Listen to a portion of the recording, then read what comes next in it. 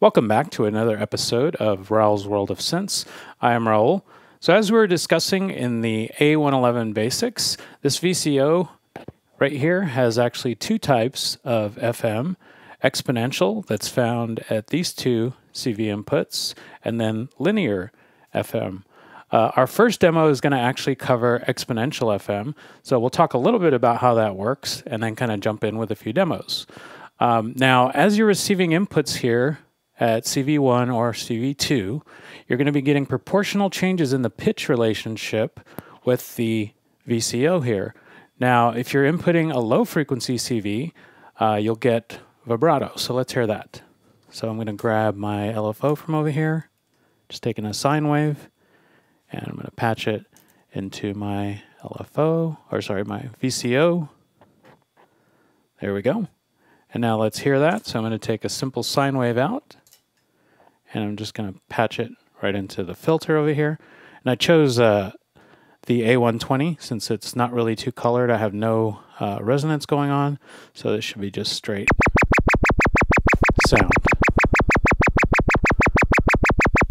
So I'm going to bring the CV input down. So that's our standard VCO sound right there. And then as I bring in a low frequency signal, we get that kind of vibrato sound that we all know and love.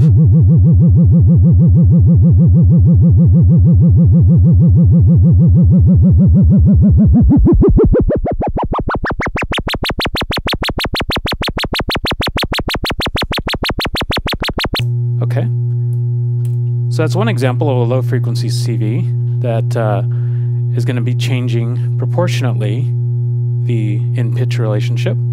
Um, now, another time that you want that to work for you uh, is when you're using a sequencer. So, like we have over here, our A154. Uh, I already arranged some notes to be coming out of this, and they're patched into the quantizer here. So, I'm just going to be taking those quantized notes right there, and I'm going to patch them into the CV input.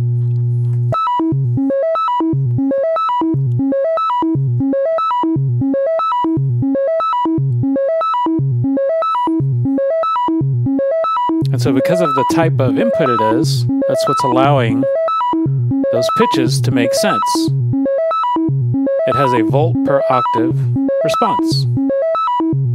And in a situation like this, that's what you want.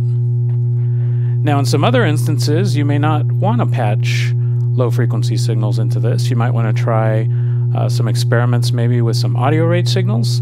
And as this happens, as you're patching in audio, at the exponential inputs here, it's going to be creating sidebands, which are going to make your final sound output much more complex.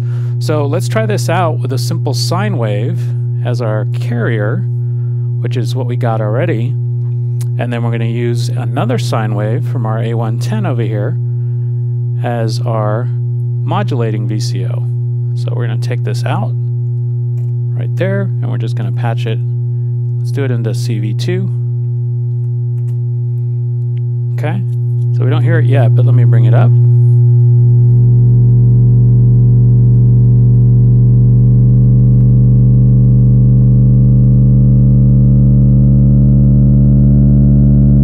You can hear kind of a very kind of more complex sound, very different from what we had before. Since originally we were just starting with a sine wave with just one frequency. And now we have a much more complex sound right there. If I bring the CV input all the way up, we get a very harsh, kind of inharmonic tone coming out of our carrier oscillator. So, if I change the octave of our modulation VCO, let's do this a couple times.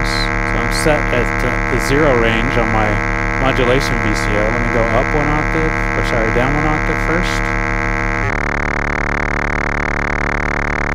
And then let's go back up to the zero. Let's go up.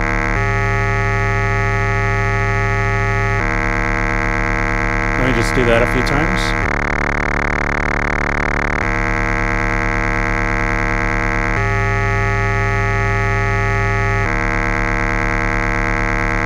So now, depending on your choice of, let me turn that all the way down. Depending on your choice of waveforms and modulation amount, uh, you'll get various timbres, everything from buzzes to noises to kind of very harsh, heavy bell like tones. Uh, but for the most part, it's going to create kind of an inharmonic sound uh, because of the response being uh, volt per octave.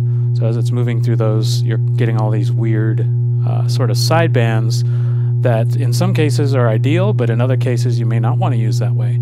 Um, you may want something a little more uh, focused and easy to hear all the individual tones. Um, so let's actually combine the two things that we were doing here.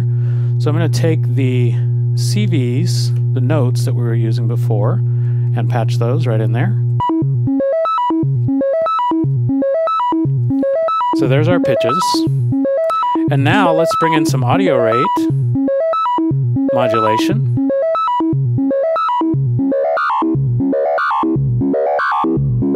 to kind of hear what kind of effects we can get.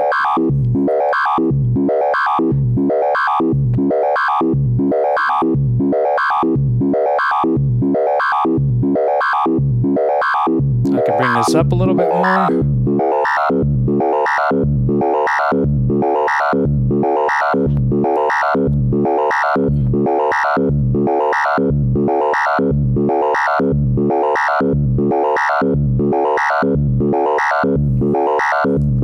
Now, if I wanted to vary this patch, I could choose a different uh, modulation waveform coming in.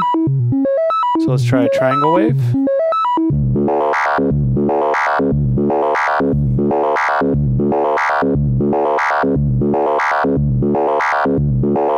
Let's try a different waveform. Let's try the rectangle or pulse wave. Patch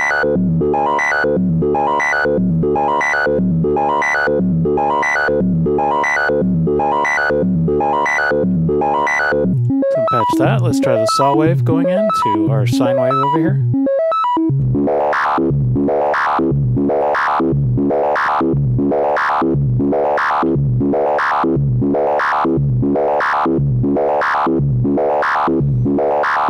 Okay, so let me go ahead and unpatch that.